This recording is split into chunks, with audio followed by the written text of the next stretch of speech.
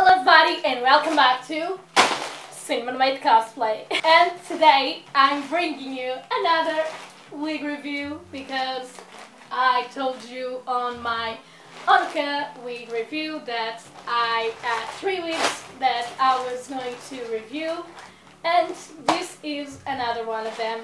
This particular wig was actually, as you can see by the yellow stuff on the package, stranded at costumes because everybody wants that. It was there for about a month and it's a little bit weird because I think I already talked about it. Um, the costumes limit here in Portugal is 22 euro and even on the package it said it is 15 dollars so I don't get why this was stranded there it was I couldn't review it. Whatever. This wig is not for me it's for a friend of mine because I keep telling you all I I'm probably a wig dealer or something. And it is for Yuno Gasai from Mirai Nikki or Future Diary or Yandere Queen, whatever you want to call her, or whatever you want to think she's from. And I haven't opened it, I'm going to open it, unboxing, you know, normal stuff. But before all that, I'm going to go to AliExpress to see where I bought it from. 14.95 euros from the Roll Cost store. It's supposed to be pink. Let's see if it is pink. Uh, uh.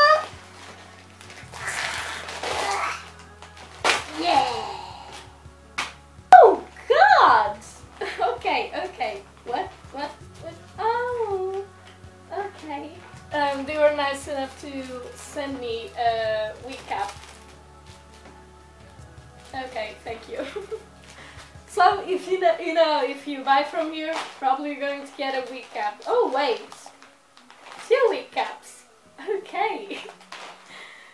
Oh, it looks very pink. Ugh. Okay. First of all, the wig cap. Standard wig cap. And let's see, it comes with the cardboard, as every order from any any site that sells L-Email Wig does. And let's see, let's see, let's see how it looks. Uh, uh, oh, okay, okay, I, I already see something good with this wig. So, oh, it's very heavy. Okay, okay. And I already probably see something bad. First of all, uh, it is very long. It comes a little bit stylized, you know, with the little bangs that, you know, has. And it is a lot more pink than I thought it would be. I can, even though I can see shades of uh, I would say almost whitish pink. You know, it still looks a bit neon pink.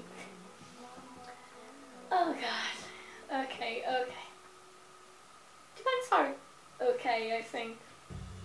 They're not perfect. I would still um, stylize them better, but for what they are, they're good. The problem, the right away, the problem that I see with this wig is I don't know if you can see it, but this part here has a little bit of missing fibers and you can see them on the inside. You know, it is this thingy, this zone right here, it has a few missing fibers, which I find a little bit strange because it is not a problem I have with my other L-Email wigs. Um, I never had a wig with missing fibers actually. Um, you know, besides the ones that are fairly cheap and I bought off eBay. Wait a minute, what?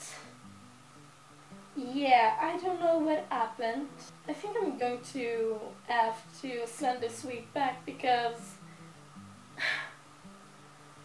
Okay, you can do it like this to, you know, for to hook the wig to your head, but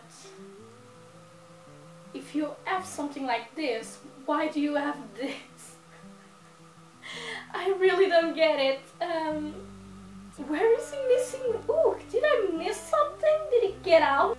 I don't get it. I I really don't. And I never had this happening to me. There's no hook really. And besides, I don't know what happened, but the um, sewing on this wig is a bit off and a bit bad. I'm just mad.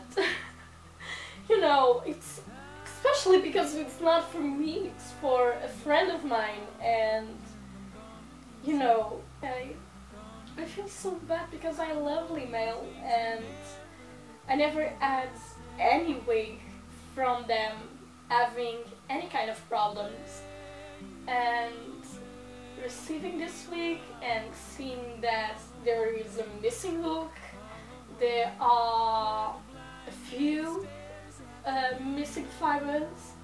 I know it is probably nitpicking a little bit, but on the wig cap you see the glue to hold it and it is black and when you turn the wig normally you can see it and I don't have that problem with any other wig so it is so odd for me to do this video, okay? Um, I'm going to try it on and hope for the best, I guess. So everybody, this is how it looks. And as always, the fringe is too big. I'm going to ask my friend if she wants me to cut it. Um, other than that, um, it is art as well to put on because of the hook problem.